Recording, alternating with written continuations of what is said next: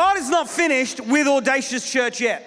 People say to me all the time, You must be thrilled with where God, what God is doing. I am, but I'm so, so, so thankful that God is not finished yet. You know, I was just chatting with a friend this week, and uh, he runs a church. Oh, he's involved in a church of around 40, 50,000 people on a weekend. And sadly, his father in law, the, uh, the founding pastor of that local church, recently passed away at the age of just 57 years of age. We were reflecting on how short a life that was, and my dad passing away at 61 years of age. And my friend made this comment God does not judge our lives like we do. Many people on the planet, we judge lives by longevity, but God judges our life according to purpose. And one of the great verses of the Bible in Acts 13 36, it says this David served the purposes of God in his generation, and then he died. There's almost that sense that you and I, we are invincible until we've done what God has called us and equipped us to do. So I want to thank every single one of you for living out your God purpose in your world, wherever you are, whatever you do in business and in work. God has called you according to His purpose. And together we'll see significant things. Well, I don't know if you know the story of Larry Walters. Larry Walters, the story goes like this a true story. That down in California, some years ago, back in around 1982, 83, Larry Walters had a dream. He was a trucker. He drove trucks, but he had a dream that one day he would fly. The dream was a crazy dream. He tried out for the US Air Force, but because of his poor eyesight, he was not allowed to become a pilot in the Air Force. So one day, while sitting in the back garden in his deck chair, drinking a few beers, he thought, I wonder if I can really fly. He and his wife hatched a plan. They went to a shop, and, and, under the guise of a scientific experiment, they bought 45 weather balloons. He said to his buddies in the neighborhood, I'm gonna fly tomorrow. The next day, they, they tied this deck chair to the floor they filled 45 helium balloons, uh, weather balloons with helium. They counted down. He had with him a camera. He had with him a pellet gun to shoot the balloons when he got to around 100 or 200 feet. And he had a case of beers. They counted down, they cut the ropes that tether this deck chair to the ground. You can Google it, you can see live footage of it. And they counted down, they cut the ropes, it began to lift 100 feet, 200 feet, 1,000 feet. At about 2,000 feet, he dropped his beers, he dropped the camera. And true story, this man, Larry Walters, in a deck chair, evened out at 15,000 feet. 15,000 feet. Two commercial airliners coming into land at an airport in California radioed into air traffic control. We've just passed a man in a deck chair. air traffic control, like, have you been drinking?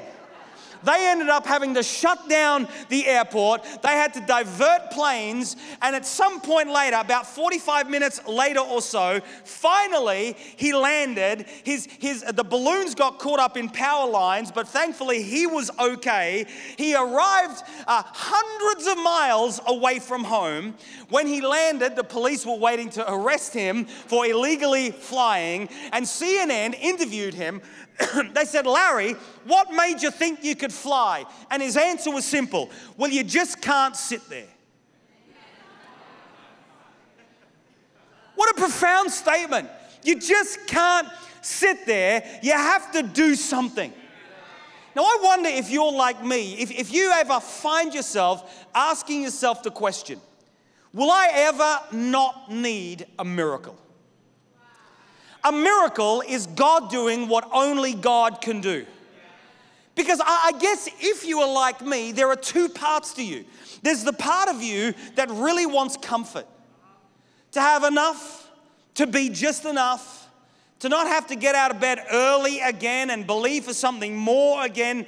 That, that, that there's a side of all of us that is going for comfort, but there's also a part of all of us that is yearning for more. And I wonder, what is that part of us that's always yearning for more? Some would say it's because humankind is selfish. I don't think so. I don't think there's a yearning in all of us for something more because we're selfish. I think it actually reflects God's heart for you and I. Look at these two of many verses in Scripture. Proverbs 15 24.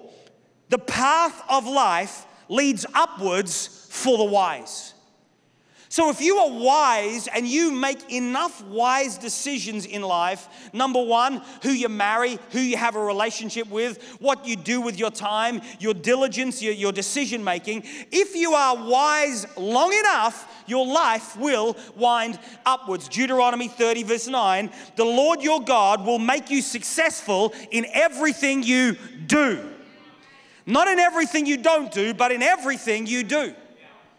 So I want to suggest for all of our campuses, Chester, Manchester, I want to suggest right now that the reason you need a miracle in your life, the reason you need a miracle in business, finance, family, in health, relationships. The reason we need a miracle for our new cathedral that we're building here in Manchester and the miracle of expansion and increase in Chester, the reason we need a miracle is simply because God is wanting us to embrace something new and go for something more.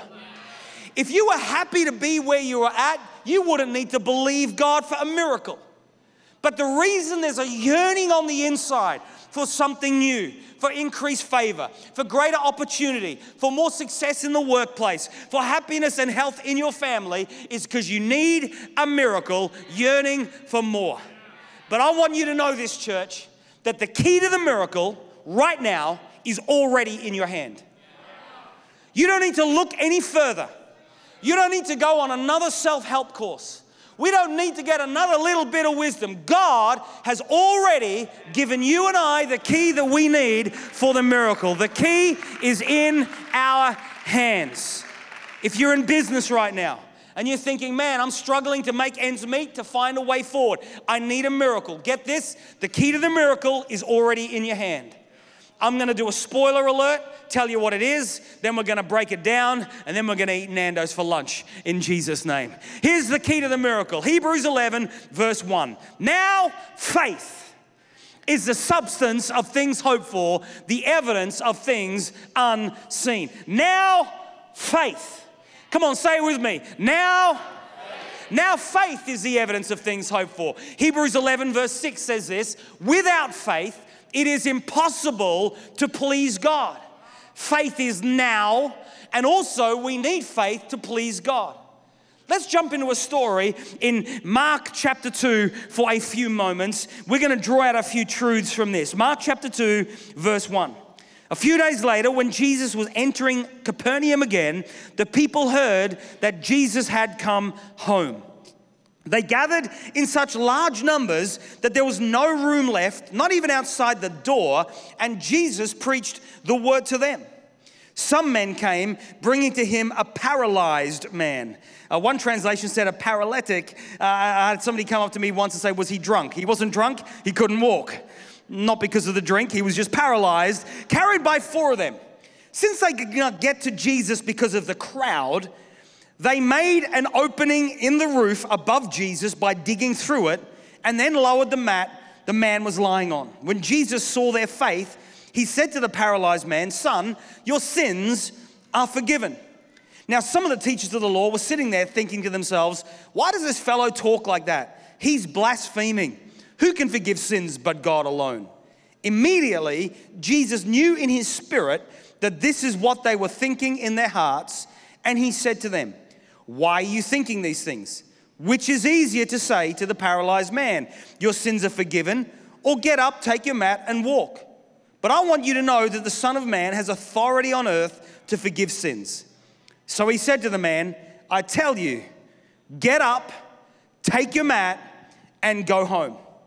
He got up, he took his mat, and he walked out in full view of them all. This amazed everyone, and they praised God in Chester, in Manchester, and beyond, saying, We have never seen anything like this. I want you to know, church, right now, with whatever it is, whatever the miracle is, I want you to know that the key is faith.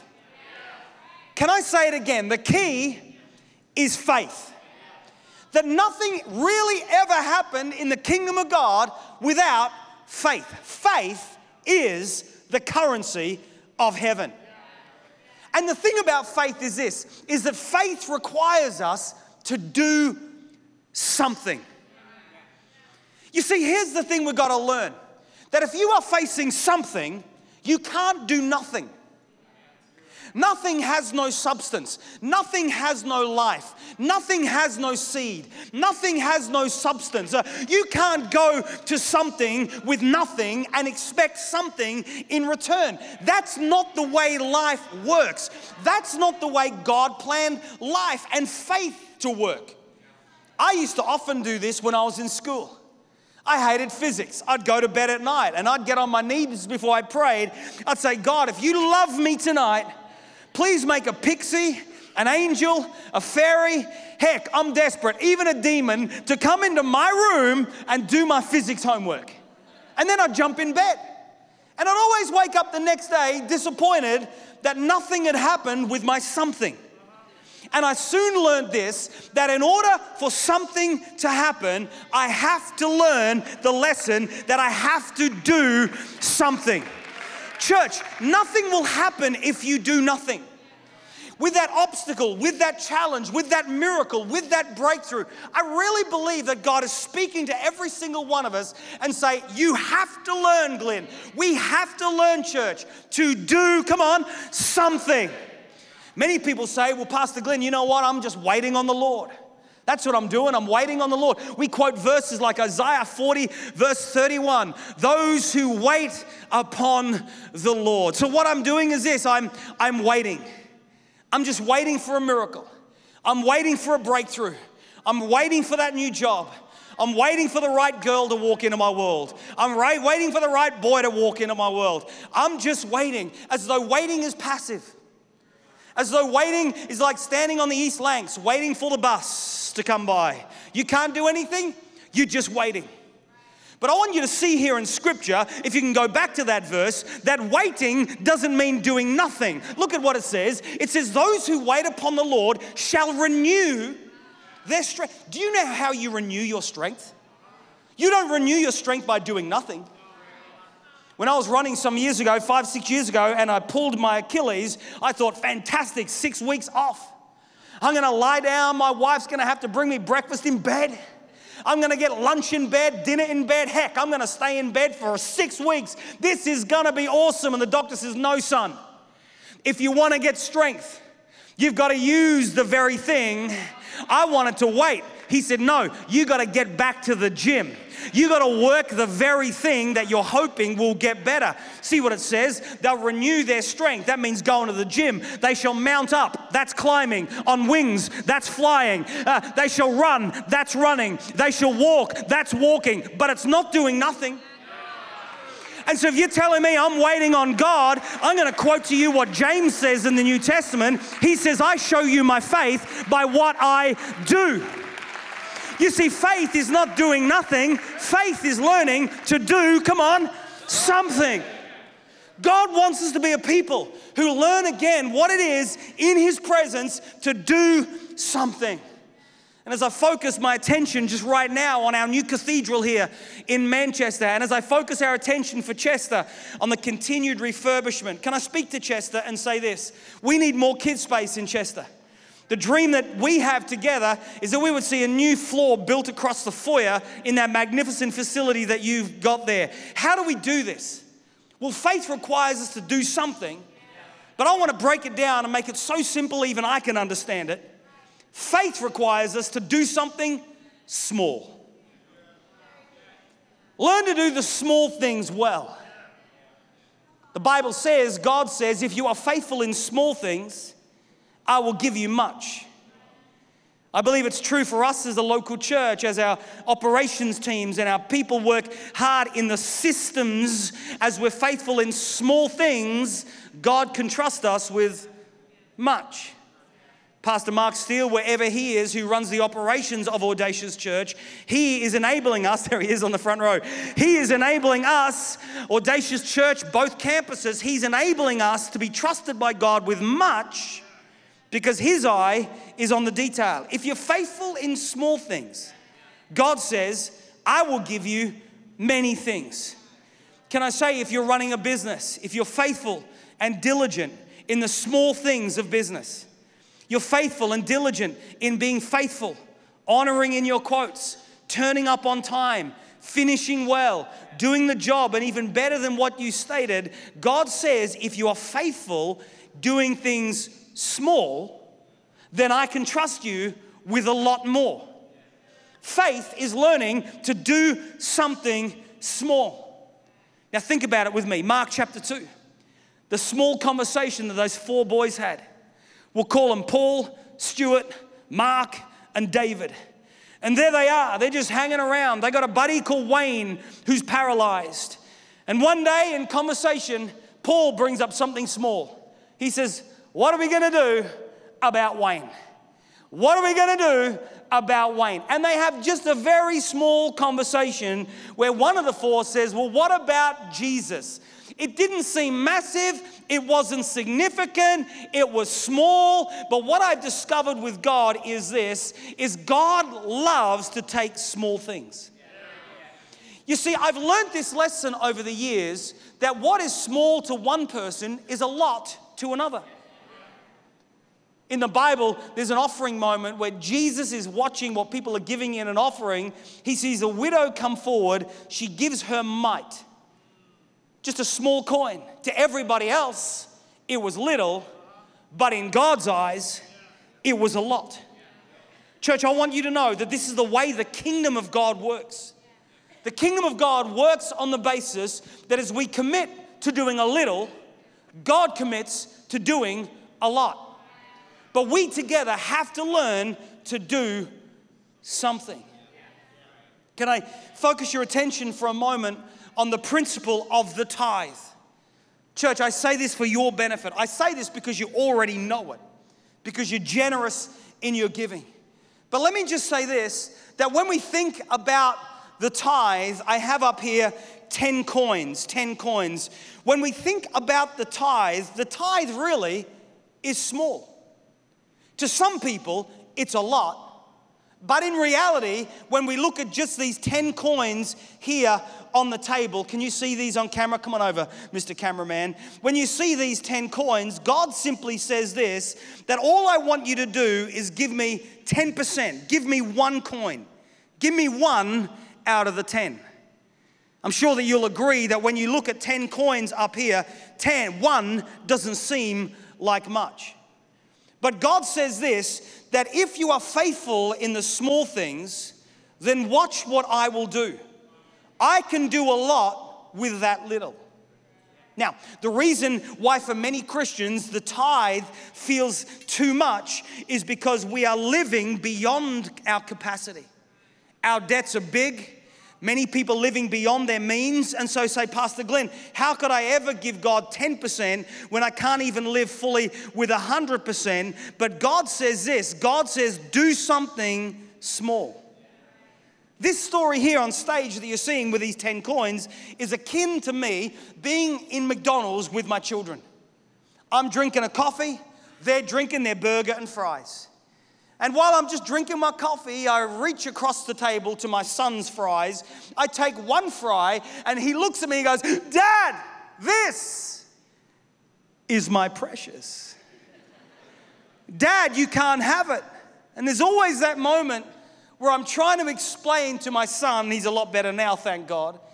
I'm trying to explain to my son, son, the only reason you have it is because I gave it to you in the first place. If it wasn't for your father, you wouldn't have your fries. Son, can I have a chippy? Okay, dad. That's really what our tithe is. Our tithe is recognizing the only reason why I have Sophia is because God gave her to me in the first place. The only reason why I have my two beautiful children, the only reason why I have my friends and my church family is because God gave it to everything that exists in my world exists because God gave it to me. And so when it comes to the tithe, God often says, Will you trust me in the small? Because if you trust me in the small, you watch what I can do with that small. Married for 22 years, never missed tithing. Started tithing when I got my pocket money as a child. And I can tell you this that when it comes to the small thing of tithing, friends, you and I have a choice. We can live in two places. We can either live in Struggle Street or we can live in Faith Boulevard. Now, the reality is this is that many people make a choice I'm going to live in Struggle Street. But here's the thing about Struggle Street one of the things I've been become aware of in my time of living in the United Kingdom is that people move houses to change postcodes to go to the right school. We got to get our son in that school. We got to get our daughter in that school. The house where we're living is great, but we're going to have to change our whole life in order to move postcodes so we can access that school. Friend, let me tell you what the tithe is. The tithe is making the decision I don't want to live in a postcode where Struggle Street is. I want to live in a postcode called Faith Boulevard. And what I, what I can tell you, hands down, time and time again in our life of tithing, doing the small thing, putting God first. Have we been through difficult times? You bet you we have. But now I feel a little bit like David in the Old Testament who said this I was young, now I'm old, and I have never seen the righteous forsaking or begging for bread. Something happens when we learn to do the small thing. You find yourself no longer always looking at the bank account, always looking for opportunity, always struggling to find favor. You find yourself now, is it true, Pastor Paul? You're now living in a new postcode called Faith Boulevard where you don't know how and you don't know why. You don't know why those things came to pass. Even through the difficult times, you still look back and say, Wow, God, you were faithful and God, you were good. But I want to tell you something. I would much rather do the small and live in Faith Boulevard without the emotion and the stress and the anxiety of trying to make ends meet. I would rather do something small, take a step back, and watch God bring a miracle. Now, I'm preaching this to you because you already know it, but I'm just giving you the theology of why you do what you do. The amount of Christians I met on the planet who still don't get this biblical principle, this scripture. Believing God for big miracles, but won't do something small. Because here's the thing, folks if you want a miracle, you have got to do Come on, you have got to something. You see, back in, in, in the Old Testament, the Bible says God created the heavens and the earth. Now, whether that was a six day process or took a long time is not the conversation for now.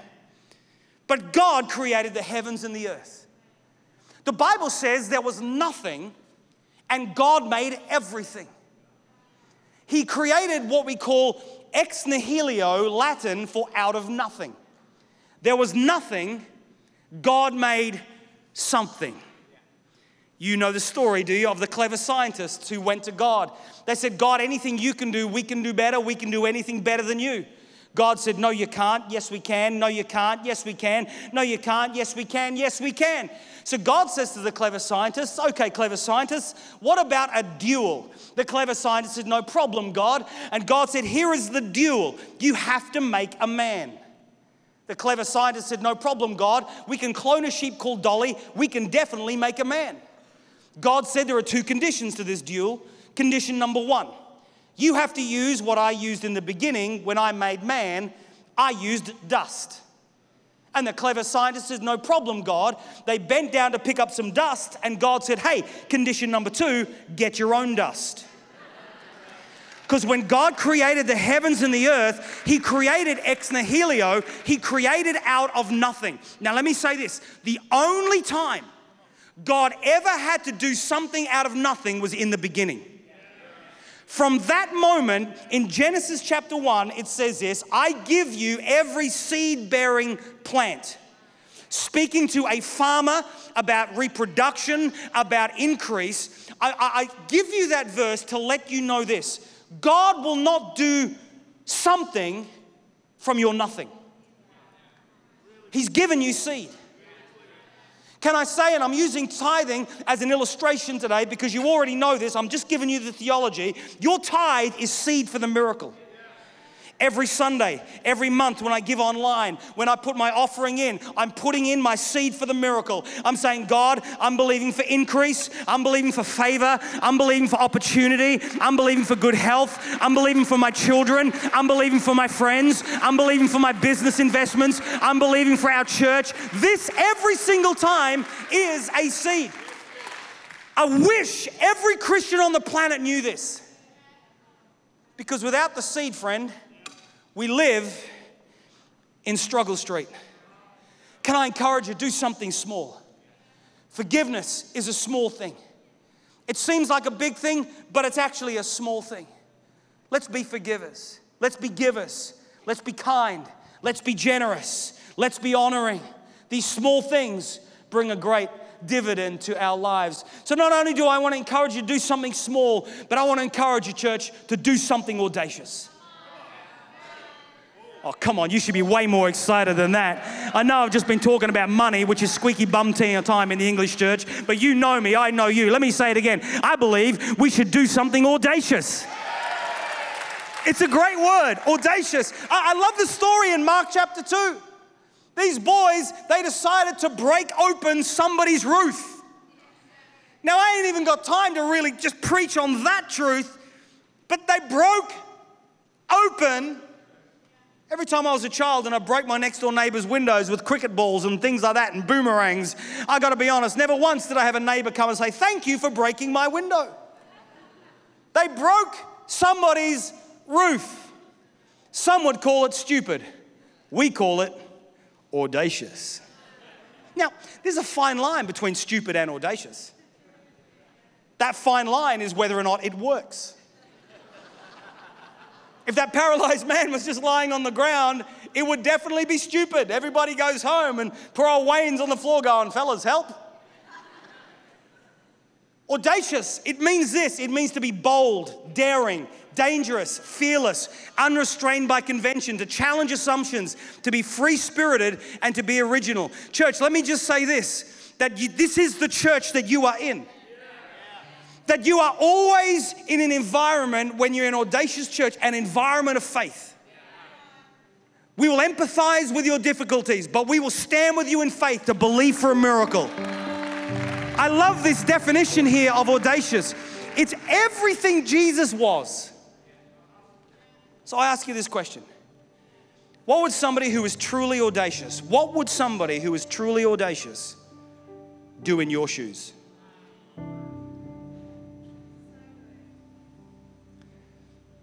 And so, as we draw our attention again to the vision party in November,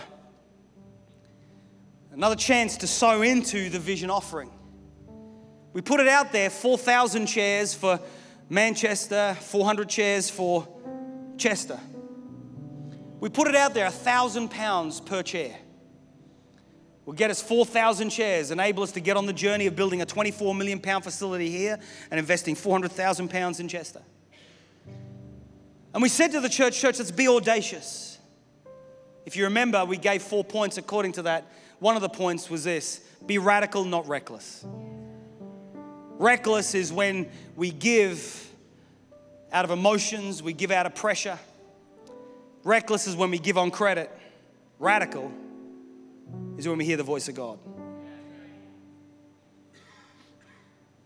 So within that journey, God spoke to Sophie and I about giving a year's salary over two and a half years into the building offering.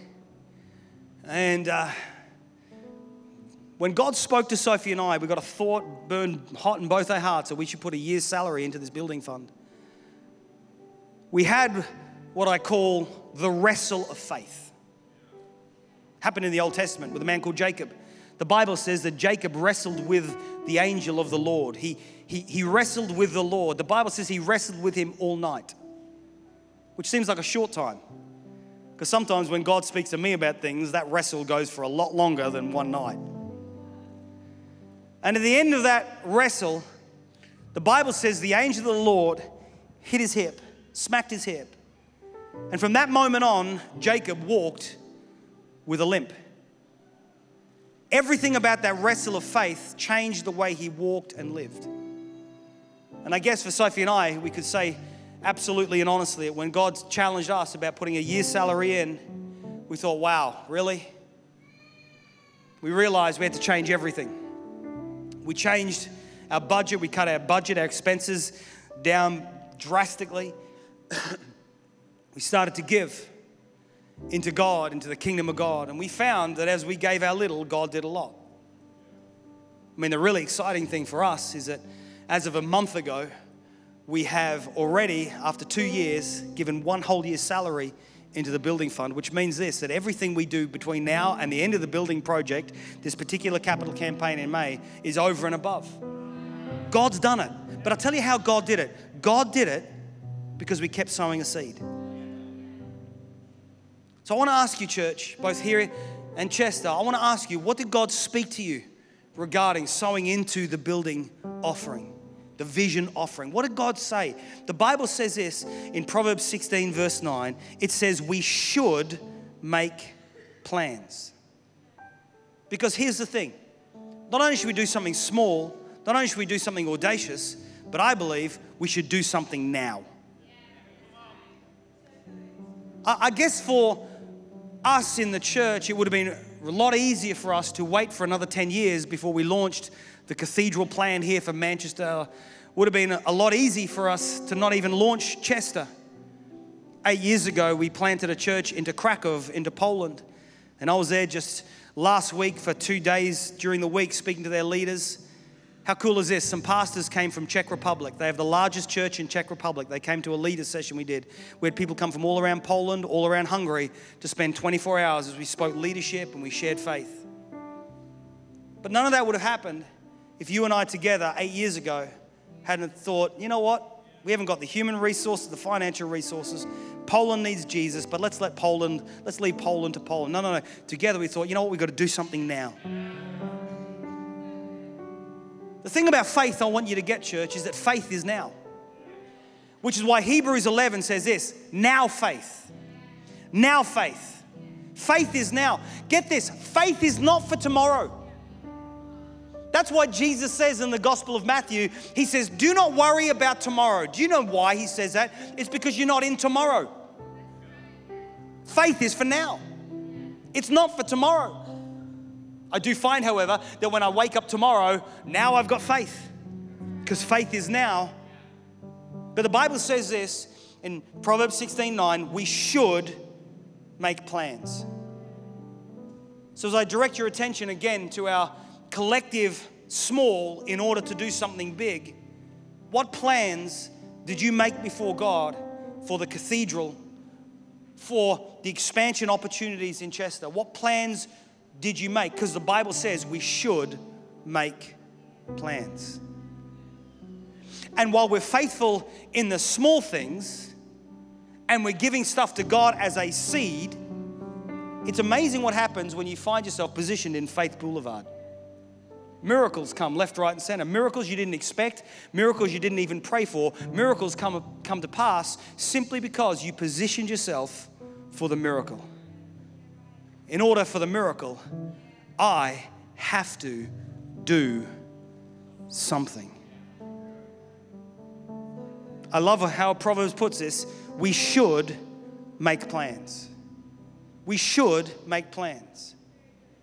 And maybe your plans have changed over the last two years, or maybe you're new into the Life Audacious Church and you're thinking, Glyn, I didn't really even know about the cathedral giving opportunity. I didn't really know about the expansion opportunities across in Chester, but you want to be a part of that. The Bible says we should make plans. Seriously, we've had hundreds and hundreds of amazing stories in this offering campaign. So many, so many. One of my favorites is of a, a pensioner in Chester campus who gave this, said this to Pastor Emily. He said this. He said, I live on a pension. He said, But I have determined in my heart that over this building campaign, I am going to buy one chair. And he said this if I can do it on my pension, then everybody can do it with the seed that God has given them. Isn't that a great story? Faith requires us to do something now. So, church, in order to see a miracle, we've got to put something in God's hands. In order to see a miracle, we've got to plant the seed. In order to see a miracle, we've got to do something. Maybe in your family, maybe family is fractured, family's in a difficult situation. Can I just say this? You've got to do something. Maybe changing your mind on a decision that you've made that is bringing difficulty in your family life. Maybe just changing your mind, just doing that one something. Maybe your one act of forgiveness in your family is enough to bring change, to bring a miracle of unity and harmony there. You're asking God for a miracle. God says, do something in Jesus' name. Church, I'm asking you again that over these next few weeks, as we think and as we pray, focusing on our vision party on November the 18th, that you stand with us together as a local church. We need you to do something. Why do we need you to do something for this offering campaign? Why do we need you to stand with us in faith? I'm going to put four reasons up here on screen. The four reasons why we need you to do something with us is because your church family is. Be a part of a corporate miracle. Stand with us in faith and do something with us. What I love in this story is this is Jesus looked to the man and he says, "You get up and do something." Before that, Jesus had seen the faith of the four friends. But now he required the man needing the miracle to do something. I ask you to stand with us in faith in giving into our vision party on November the 18th because there is, like in this story, a paralysis in this nation. The church of God in this nation is a phenomenon. The church of God globally is a phenomenon. One great preacher says the, the church is the hope of the world, the light and the love and the magnificence of Jesus Christ coming through all of our hearts. I believe that the local church can bring change. Did you know Universities began in local churches. Did you know hospitals came out of local churches? Did you know schools came out of local churches? The history, 2,000 years, so many life and nation transforming things happened because of the local church. I believe that together we can see a paralysis changed. I want to say, stand with us in faith because what you do may seem small, but our collective small, God can do something great. My prayer being that on the day when we cut the tape here in Manchester on our new cathedral, on that day where in the future in Chester, we launch new expressions of Audacious Church through into North Wales and the world, down through into Cheshire, our collective small will be able to celebrate something big. And the fourth reason is this, is because there is a chair waiting for your friend. We're buying chairs to make it possible for our friends and family to come to faith in Christ. I love how the story finishes in Mark chapter 2. It says this We have never seen anything like this.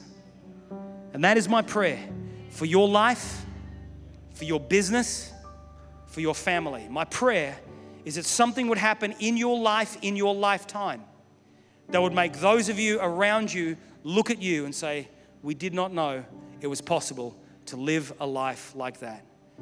And my prayer is that corporately, the city, the nation, and the nations would look at what God is doing through the people of Audacious Church and say, We never have ever seen anything like this. Church, I believe that you are a city on a hill. I believe that you are a lamp on a lampstand. I believe that God has drawn us, drawn us together to be in church to truly make a difference. I believe that we can do this together. I believe in you. I believe in the God in you. And I believe that together, as we stand in faith, we will see God do amazing things in Jesus' name.